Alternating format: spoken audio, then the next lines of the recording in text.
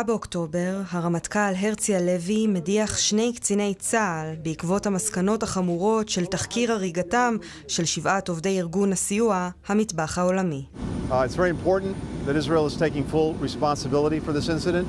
It's also important that it appears to be taking steps to hold those responsible uh, accountable.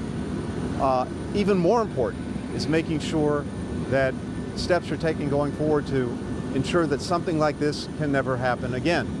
הקצינים שיודחו הם ראש מטה חטיבת הנחל, קצין בדרגת אלוף משנה במילואים, וקצין הסיוע החטיבתי של הנחל, בדרגת רב סרן.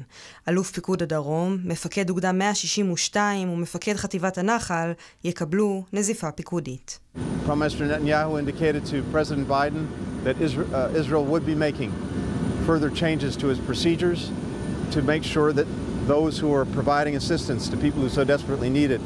Gaza are protected. So we're going to be looking very carefully at what those steps are, how it achieves better deconfliction, better coordination, so that aid workers are protected.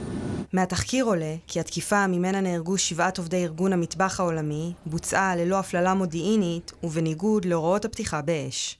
Uh, as Israel pursues any military operations against Hamas, it has to prioritize the protection of civilians. It has to make that job number one. בתחקיר עלו מספר כשלים חמורים. נסיעת עובדי הסיוע תואמה עם צה"ל, אבל התיאום לא עבר מהפיקוד והאוגדה לחטיבה בשטח. התקיפה בוצעה לאחר שחמוש זוהה יורה מגג אחת המשאיות של השיירה, למרות שמפקד האוגדה הורה לא לתקוף את השיירה. שלושת כלי הרכב הפרטיים של השיירה הותקפו בהפרש של שתי דקות זה מזה, למרות שהיה חשד שחמוש נכנס רק לאחד מהם. עוד עלה מהתחקיר כי כלי הרכב של ארגון הסיוע סומנו במדבקות, אך הן לא היו טרמיות, ולכן לא ניתן היה לראות אותן מהאוויר בשעות הלילה. Eh, insuficientes y lo que esperamos es una aclaración mucho más determinada y mucho más detallada sobre lo sucedido. Y a partir de ahí, pues evidentemente veremos qué acciones tomamos eh, respecto al gobierno del primer ministro Netanyahu.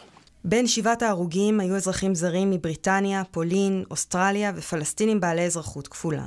בארגון המטבח העולמי לא הסתפקו במסקנות התחקיר הצבאי ודרשו חקירה חיצונית.